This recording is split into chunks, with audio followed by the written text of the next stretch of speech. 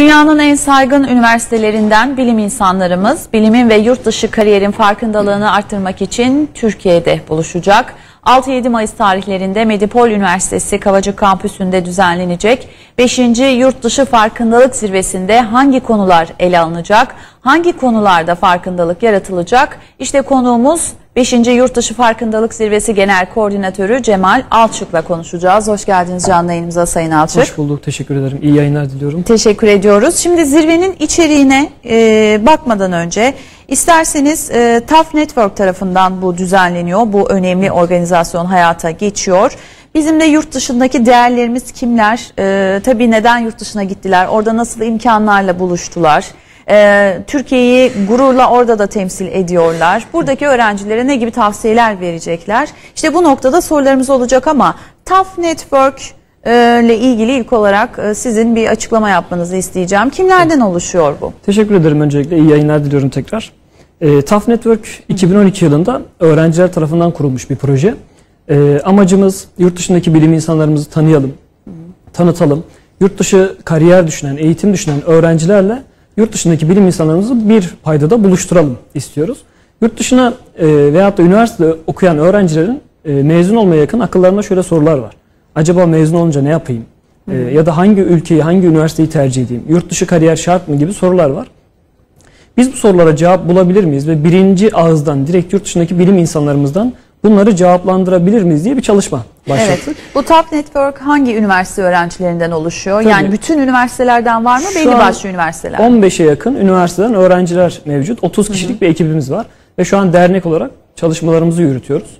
Ee, amacımız Hı hı, buyurun. ülkemiz ile Türkiye ile dünya arasında bilim köprüsü kurmak. Evet, e, şimdi tabii son zamanlarda, son yıllarda e, hükümetimizin yapmış olduğu adımlar da var. İşte beyin göçü yaşanmasın, tam tersine Türkiye'ye e, kaliteli yönde, olumlu yönde beyin göçü yaşansın diye. Tabii bazı realiteler de var. E, bazı dallarda yurt dışında e, bilime uzun yıllardan beri çok büyük yatırımlar yapan ve bilimde e, çok çok mesafeler kat etmiş ülkeler var. Bunu da göz ardı edemeyiz. Zaten bizim de bilim adamlarımız oraya gidiyorlar, öğreniyorlar tekniklerini veya kendi keşiflerini yapıyorlar. Daha sonrasında bunu Türkiye'ye de taşıyabiliyorlar. E, öğrenciler ne bulacak bu zirvede tam anlamıyla? Tabii ben zirveye geçmeden önce e, bizim sloganımız ve bahsettiğiniz beyin göçüyle alakalı bir, e, bir şeye değineyim. Bizim sloganımız beyin göçü değil, beyin gücü.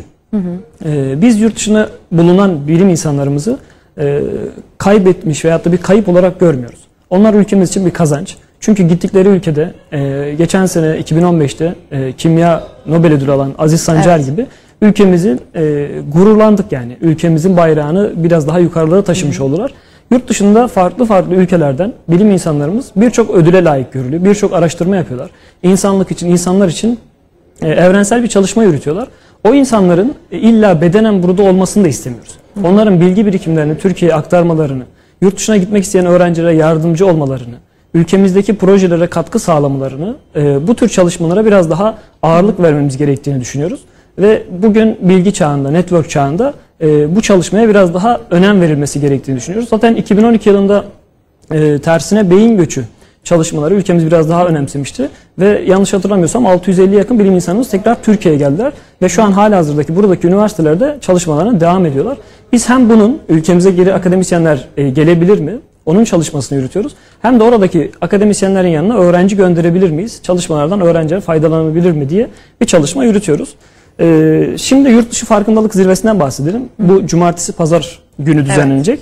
Medipol Üniversitesi ev sahipliği yapıyor bu yıl. Ee, bunu 5. yıl, 4 yıl yaptık. Bu 5. E, yurt dışı farkındalık zirvesi.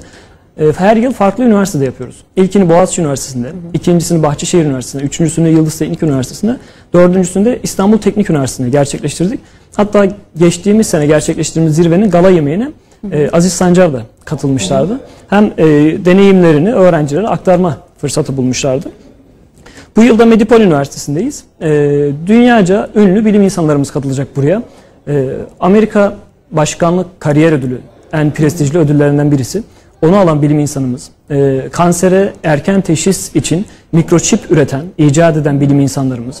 Amerika'da 35 e, bilim insanı arasına gelen bilim insanlarımız gibi dünyanın farklı ülkelerinden Amerika, Kanada, İngiltere, Almanya, İsveç gibi yerlerde bulunan bilim insanlarımız bu cumartesi pazar İstanbul'a geliyor. Ve üniversite öğrencileriyle iki gün boyunca bir araya gelecekler. Ben biraz da oturumlardan bahsedeyim Tabii isterseniz. teması nedir bu arada? Temasını da Ee, merak bu yılın teması sınır tanımayan başarılar. Ee, yani yurt dışındaki bilim insanlarımız e, ülkemizden lise, lise, lisans eğitimini almışlar ve yurt dışına gitmişler. Orada doktora çalışmalarını yapıp e, üzerine şu an doktora sonrası araştırmalar yapıyorlar. Ve e, çok önemli buluşlar, icatlar, çalışmalara imza atıyorlar. E, bu yılda sınır tanımayan başarılar e, temalı yurt dışı farkındalık zirvesini organize edeceğiz. E, yarın akşam e, gala yemeğiyle başlayacak ve cumartesi pazar devam edecek. Cumartesi pazar günü açılışlardan sonra e, bütün yurt dışından gelen bilim insanlarımız ilham veren konuşmalar yapacaklar öncelikle. Öğrencilere bir motivasyon ve bilimin e, geleceği hakkında bir konuşma yapacaklar. 8'er dakika sürecek 8'er dakikalık bir ilham konuşması. Yani o 8 dakikada o ilhamı vermek zorundalar Evet, değil mi? Her bilim insanımızdan kısa öz bir bilim e, ve gelecek adına bir konuşma yapmasını, e, katılımcılara bir ilham vermelerini isteyeceğiz. Ardından yurt dışında e, lisansüstü eğitim fırsatları adında bir oturumumuz gerçekleşecek. Buraya da e, yurt dışına gitmiş olan bilim insanlarımız hayat hikayelerini e, anlatacaklar. Nasıl kabul aldıklarını, şu anki bulundukları üniversitelerde e, pozisyonlar var ise öğrencilere ne tür burslar sağlanabilir, ne tür başvurular yapabilirler diye bir yurt dışında eğitim, e, lisansüstü eğitim fırsatlarını anlatacaklar.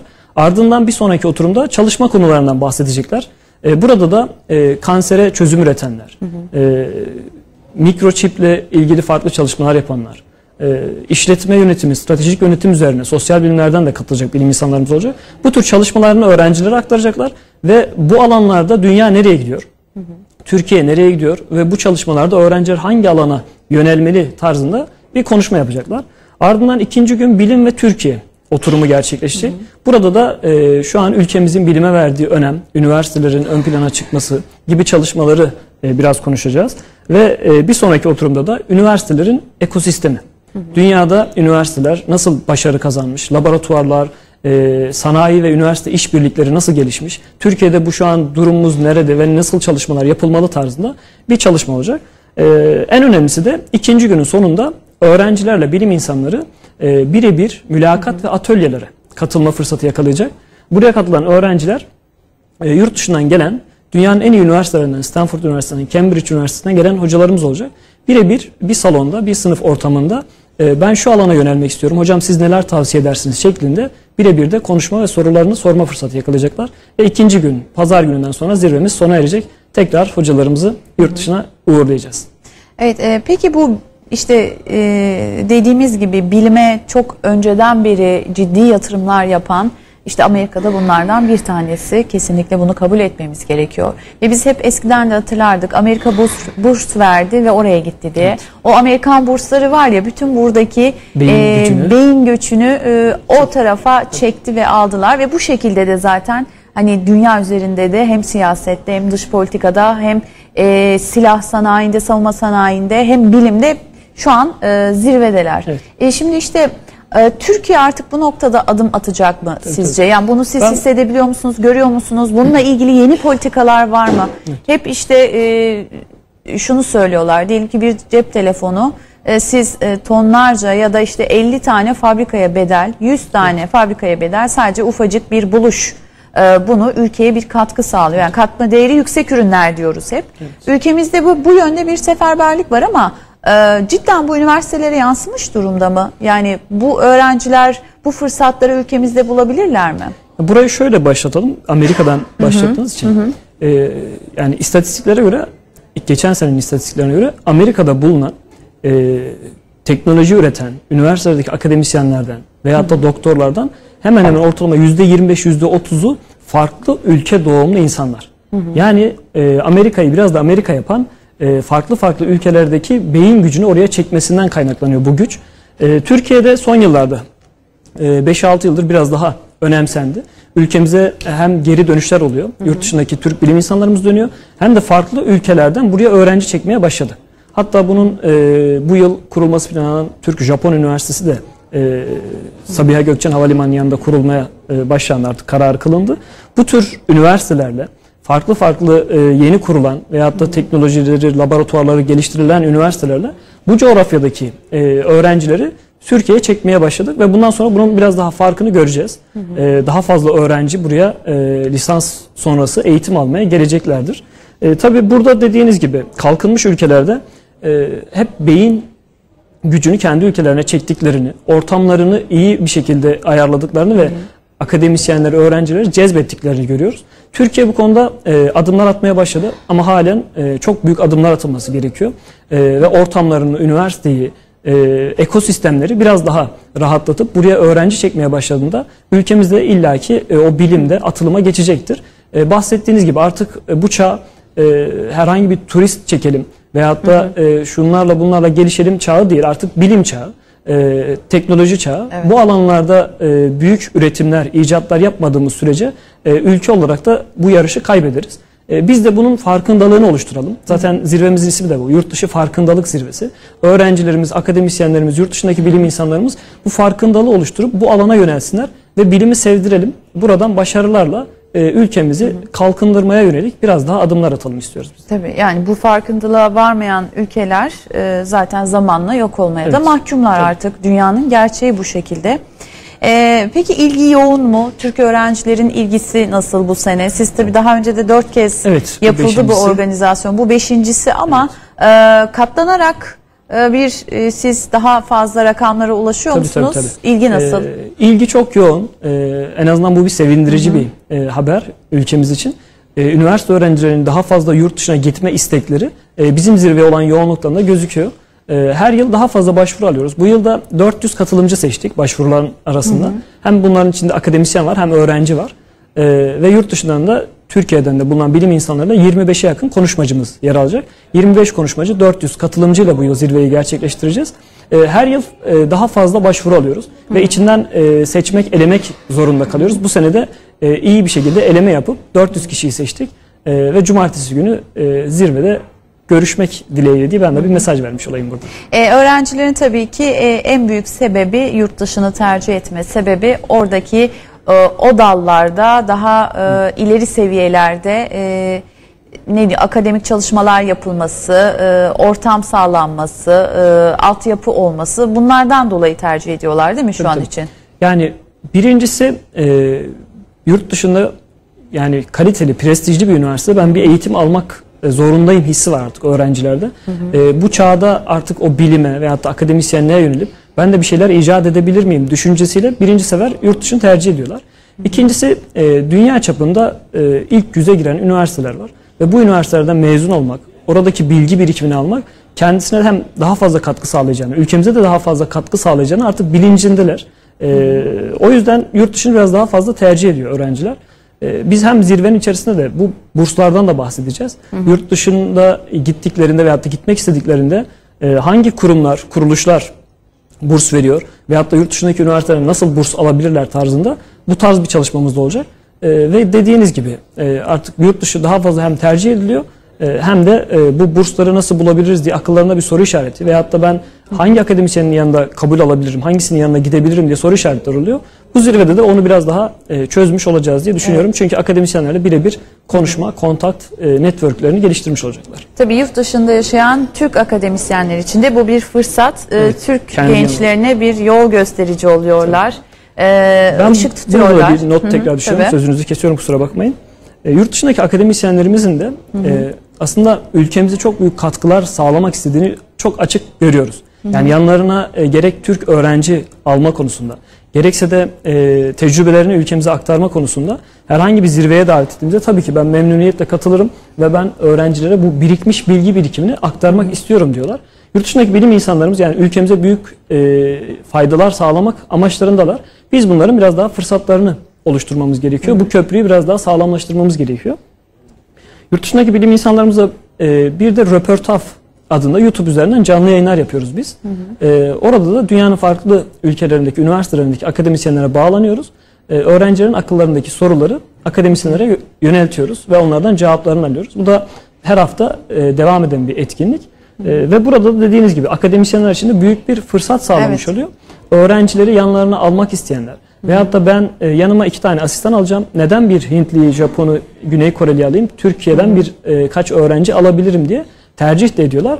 Ama buradaki öğrencilere ulaşmak için de e, bu bağlantıda biraz sorun yaşadığımız için biz de TAF Network olarak tam onun göbeğine oturmak istiyoruz. Yani öğrenciler yurt dışına gitmek istiyorum ne yapmalıyım dediğinde, yurt dışındaki bilim insanlarımız da ben Türkiye'den öğrenci almak istiyorum ne yapmalıyım dediğinde TAF Network olarak biz bu aracılığı sağlayıp köprü görevi görmek istiyoruz. Evet, büyük bir ihtiyacı gideriyorsunuz esasında. Teşekkür ederim. Ee, peki öğrencilerin genelde sordukları sorular nedir orada yaşayan e, Türk bilim insanlarına, akademisyenlerimize? Biraz ben onları da derledim. Ee, yurt dışı kabul alabilir miyim? En büyük soru ve en büyük korku bu. Yurt dışındaki bilim insanlarımızla en çok mesaj verdiği yer de burası. Yani e, dünyanın en prestijli üniversitelerine kabul almak zor değil. Yeter ki isteyin, yeter ki üzerine azmedin, çalışın, çabalayın ve peşini bırakmayın e, dediklerini görüyoruz. Ve öğrencilerin akıllarındaki ilk ve en önemli soru bu. Ben kabul alabilir miyim, acaba gidebilir miyim? Bir not ortalaması beklentisi var ama Tabii. e, hani başarılı öğrencilerden e, belki de üniversitede ilk 50'ye giren öğrencilerden tercih yapacaktır Evet. yurt dışındaki Yani illaki üniversitede. başarılı olması, not ortalamasının biraz yüksek olması gerekiyor. Ve bunun yanı sıra da hemen ilk e, not ortalamasının yanına koydukları şey de belli bir alana yönelmek istemesi öğrencinin. Ben şu alanda çalışmak istiyorum ve bu alanda kararlıyım. Ben bu alana yönelmek istiyorum dediğinde makaleler araştırıp kendisi makale yazmışsa veyahut da onun e, projesini üretmişse yurt dışındaki bilim insanlarımızın e, burası daha fazla cezbediyor. Yani Türkiye'deki öğrencilerin e, gitmek istediği alanla ilgili biraz çalışma yaptılarsa onların daha fazla e, kabul alma olasılığı yüksek olarak gözüküyor. İkinci bir soru ise e, ben acaba burs bulabilir miyim? Ekonomik kaygılar. E, Bununla da alakalı hem yurt dışındaki doktoraya giden e, insanlar genellikle Amerika'da e, birçok asistan alındığı için doktoraların tamamı burslu oluyor. Ve ülkemizde de e, Milli Eğitim Bakanlığı'nın çok güzel bir bursu var. E, YLSY isminde. E, bunu da zirvemizde hem sunum yap, e, stand açacaklar. Ben de buradan kısaca bahsetmek isterim. E, devletimiz yurt dışına gitmek isteyen öğrenciye e, kaç yıl kalacaksa bütün masraflarını karşılıyor. Sen kendi kabulünü al, ben bütün burslarını sağlayacağım diyor. Döndükten sonra da burada ülkemize, üniversitelerine, kurumlarına hizmet et diye bir bursu var. YLSY bursu. Ve her yıl Temmuz-Ağustos aylarında başvuru yapılıyor. E, ve bu sene zirvemizde de detaylı bir sunum yapacaklar. E, TÜBİTAK'ın yine bursları var. Farklı farklı kurumların veyahut da Amerika'daki Fulbright tarzı burslar var. Bunlarla alakalı e, zirvemizde de yine sunumlar gerçekleşecek. Öğrencilerin ikinci sorusu da bu. Ekonomik ve burs Evet. konusunda neler yapabiliriz? Bunlara da akademisyenler e, nerelerden burs bulabilirler diye detaylı bir şekilde e, Evet. cevaplandırıyorlar. Çok kısa soracağım. Tabii. Bir cümleyle cevaplamanızı isteyeceğim. Süremizi doldurduk çünkü. Ee, hangi ülkelerde daha çok bizim Türk bilim insanlarımız çalışıyorlar? Ağırlıklı Amerika mı? Tabii. Yoksa Avrupa ülkeleri de var Yani mı? en fazla rağbet edilip de yurt dışına gidilmek isteyen Almanya olarak gözüküyordu. Ee, ve Amerika'da ya- yaklaşık 12 bine yakın öğrencimiz var bizim. Yüksek lisans ve doktora öğrencisi. Ee, ikinci sırada Amerika yer alıyor.